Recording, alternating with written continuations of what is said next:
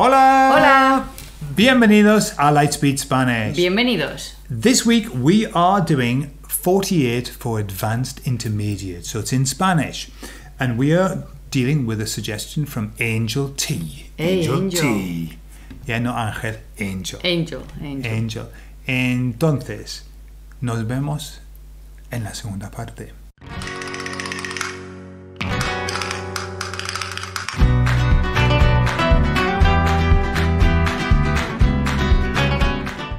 Vale, Angel.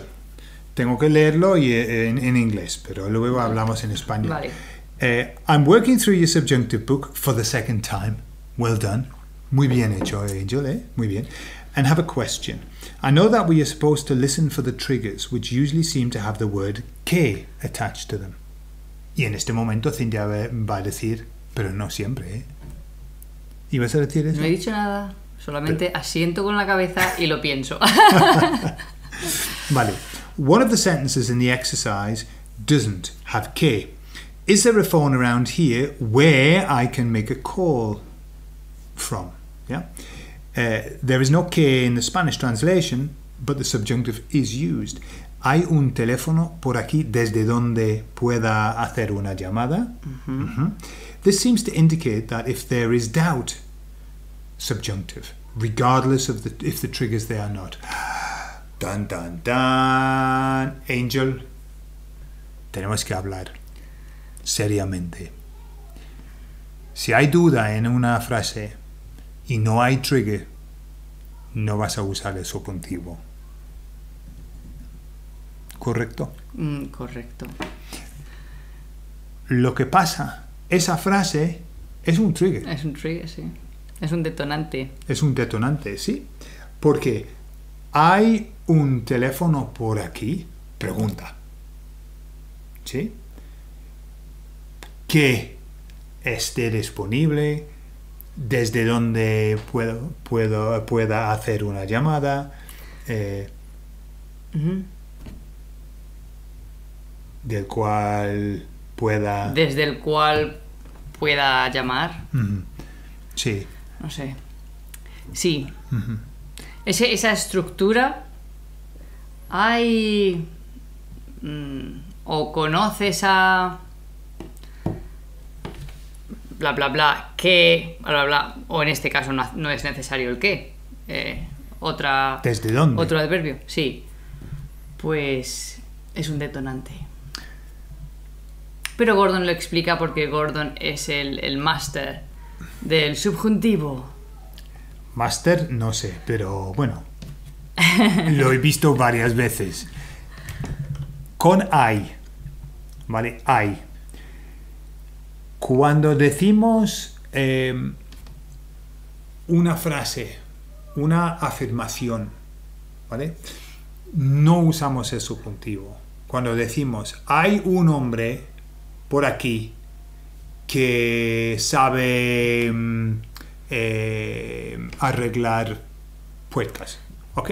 Es, un hecho. Eso es un hecho, exacto. Un hecho. Eso es un- ¿Sí? Hay un hombre por aquí que sabe arreglar.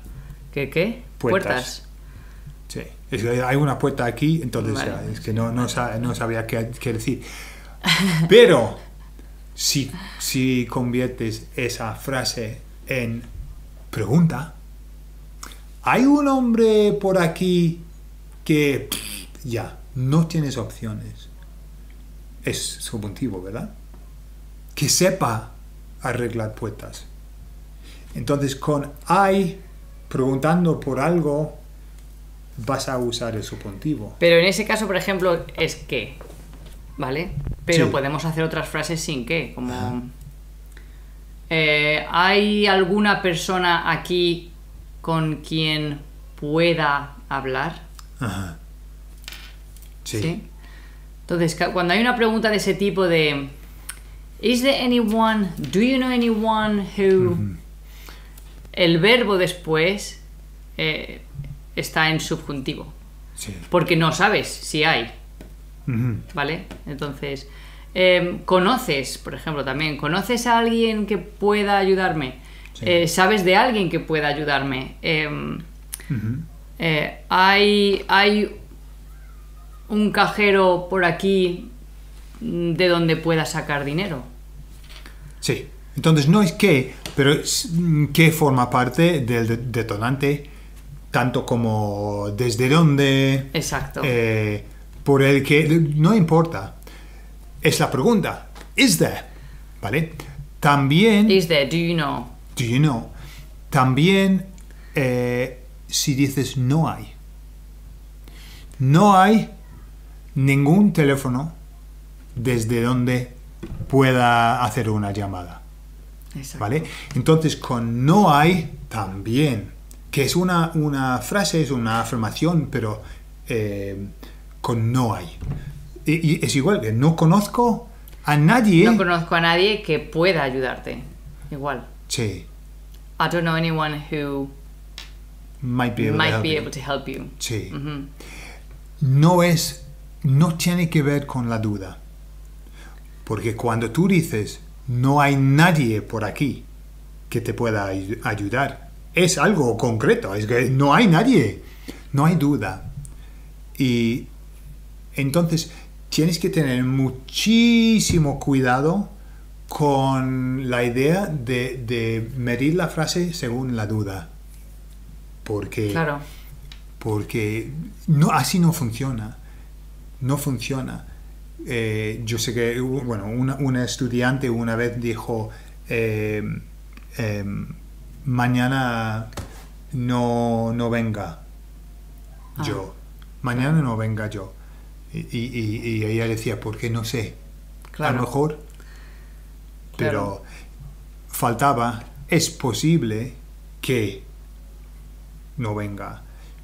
Y sin es posible, tú no puedes decir no venga. Ah, bueno, puedes, no venga, pero es, un- es un, un- A ver, no puede decir mañana no venga. Eh, Porque eso Sí. significa you don't, don't you come tomorrow. Y eh, usted, eh, eh, usted, don't come, usted. Don't come, yeah. Sí, Don't es un command. Mañana no venga. Es un com- command, no, no es el subjuntivo. en dos días. Sí. Exacto, sería el subjuntivo de, del command. Sí. Y, y un problema muy grande con, con el tema del subjuntivo, lo que he visto cuando miro páginas explicándolo, es que dicen, si hay duda, ¿vale? Aparece el subjuntivo. Y, y si a veces y si no, a veces no. No tiene que ver. Es, el, duda entra en el subjuntivo, pero no es el subjuntivo. ¿No? Pues, por ejemplo, a lo mejor, Sí. a lo mejor llueve mañana. A lo mejor es una duda, ¿no? Sí. Es como perhaps, Ajá. a lo mejor, pero no se usa con subjuntivo. No es un detonante. Entonces el subjuntivo trabaja con los detonantes de subjuntivo.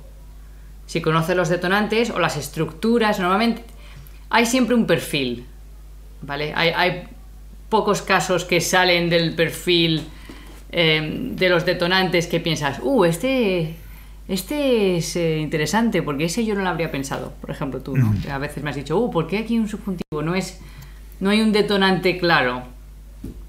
Y hay frases que, que pueden ir con o sin subjuntivo, ¿eh? Sí. Ajá. Dependiendo de cómo lo quieras expresar. Ajá. Eh, entonces, eh, normalmente tienen un, un perfil. Sí. Cuando conoces los perfiles principales, que están, obviamente están en el libro, ya muchos están en esa categoría. Ya es como, ah, es- esto es muy similar a esta estructura. Por ejemplo, la, eh, la estructura sobre la que hablamos hoy, de ¿conoces a alguien? ¿Sabes si hay alguien? eh, ¿Hay alguien aquí o hay un banco no sé qué aquí donde o en el que detonante? Todas esas estru- eh, estructuras, o sea, todas esas frases están dentro de la misma estructura. Sí. Que eso es un detonante. Igual en, en negativa. No hay nadie que, no conozco a nadie que, eh, no sé de nadie que, o... ¿Vale? Sí. Entonces, Sí. Y otra cosa con la duda, por ejemplo, eh, lo que una frase que me confundía mucho era eh, qué bueno que estés. qué bueno que ¿Vale? estés, y yo, claro. a ver, mi, eh, Sí, me explotaba la claro. ca- la, la- la cabeza. A ver, estás aquí, delante de mí. Estoy diciendo que bueno y tengo que usar el subjuntivo. Claro, o sea, pero ¿sabes por qué? Porque el subjuntivo no solamente se usa para un futuro hipotético o para duda. Es que la gente piensa, oh, duda equivale a subjuntivo. Eh, futuro hipotético, subjuntivo. No, hay otros casos también. Sí. Opinión personal sobre algo. Eh, cuando tú quieres que otra persona haga algo, u otra persona quiere que tú hagas algo, eso es un detonante Claro, de subjuntivo. claro. Eh, no es una duda ni es eh, un, un futuro hipotético. Sí. Por ejemplo, quiero que yo, I want you to eat, ¿vale? I want you to eat. Diríamos, I want that you eat, en español. Sí. Yo quiero que tú comas, Sí. ¿sí? Y es, Eso es, es una, es una obligación. Es curioso. Un eh, request, ¿no? Sí, es curioso porque en inglés también, en esa frase, usamos el subjuntivo. Pero no se nota, a no ser que hables de, de- de segunda persona, ¿no? Eh, o, o no, tercera. I want that you eat. I want that he eat. I want that she eat, not eats. ¿Vale? Eso es el subjuntivo en inglés también. Pero luego no, no, no se usa tanto. No. Entonces, ese es el duda a la basura. Duda no. Pero eh, sí forma parte. Forma parte la duda. Pero típicamente tú tienes que aprender los detonantes. And talking about that, a word from our sponsor. a word from our sponsor. Right. This is the book that. Uh, eh, and I'll tell you something. I'll tell you something between just just you all and us. This is the book. The cover on this book, which I absolutely love, it's beautiful, isn't it? The cover on this book was the first cover that that the guy who who made all of the covers for our books did. He did this one first, and I thought, wow, I love this. And basically, he did every cover from for all of our books. And just recently, I I went to get him to do the cover, and his son contacted us and said that he he passed on. So that was a shame. Italian guy, lovely guy, lovely guy, and he always did them like within a week. So that was that was sad, but anyway, I'm sure he's in a much better place. So this is the book that we've been using as a reference when we're talking. This is the book that uh, Angel T was reading as well. What Cynthia was talking about was, hang on, y- you know, it might seem like it sounds a bit glib. We go, oh, well, that's one of the opinions, or that's the obligations, or whatever. We, what we've done in the book is we've split everything down. Yeah, I don't know whether you can see this. I'll zoom in. We've split everything down to an acronym called WHOOPER. Okay, wishes, obligations, opinions, possibilities, and then afterwards that is what we use as a, as a way of of understanding when you have to use a subjunctive, not why. When. This book does two things. It tells you how to do it, and it tells you when you have to do it, which are the two most important things ever. In fact, I'm busy working on a begin subjunctive for beginners, right, on a course that will will be uh, promoting soon, which is all about just telling you how to do it and when to do it. That's all you need. You don't need the why. Actually, causes us more problems than enough. So this book, this book is kind of what level would you say? Sort of intermediate onwards, yeah. Um, intermediate or like super duper uh, expan- Int- Spanish expert. intermediate up to the top end, top end. yeah, I, I'd say from intermediate. Yeah, it, it, Onward. it, it, the book demands that you know some Spanish vocab. Yes. Yeah, that's why it's not for Yes. beginners. But but I am working on on a one for beginners, which is going to be nice and easy, walk through with homework and everything like that. Yeah. So this book, the information will be in the in the video uh, information below. Okay. Bueno, Cintia. Bueno, Pues muchas gracias, Cintia. a ti. Otra lección para la gente. y muchas gracias, eh, Angel T, por la sugerencia. ¿Por qué tienes que hacer T? No sé, es que es lo que quiero hacer. Y si fuera M, harías también. Eh, sería más difícil. ¿no? Así. No, es que eh, me gusta. Es como en los juegos, ¿no? De... Es que time out, time Claro, out. time out, sí. Ajá. Sí, bueno, entonces claro, ya, time ya- ya- out, de una T. Ajá. Nunca- nu- ah, nunca he ahora sabido- caes, ¿no? Tú también ahora caes. No, Seguro. yo lo sabía. Yo sabía. Nunca lo he pensado. No, ¿No? sí, time out. ver, time, eso es la, la T. ¿La T? ¿Ves? Y por eso haces Angel T. Sí, Vale, pues Angel. ¿ves? Las cosas que Eh, aprendes de mí, sí, ¿eh? fíjate lo que he aprendido hoy. ¿Eh? El time out. ¿Eh? Nunca eres demasiado mayor, ¿no? Para... Perdone usted. Perdone, eh, repita esa frase, por favor. Nunca Uno. Eres, nunca eres demasiado mayor. Uno O sea, eres- nunca eres, es. eres mayor, pero no eres demasiado mayor. Es una, una frase que tenemos en inglés. You're never too old to learn. ¿Vale? No, pero debería haber usado uno. Uno nunca es demasiado mayor. No, es que no has dicho. Sí, has dicho tú. You are not too old. You're old, but not too old to learn. Eso es lo que me has dicho. Así has, así has sonado, ¿vale?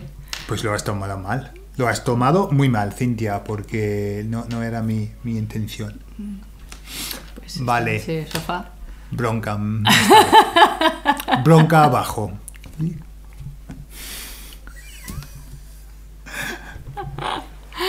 Vale, Ay, chicos, eso es todo. Lo que tengo que aguantar. Sí, mucho. Eso es todo. eh, nos vamos. Y nos vemos. Hasta luego. Adiós. Adiós, adiós.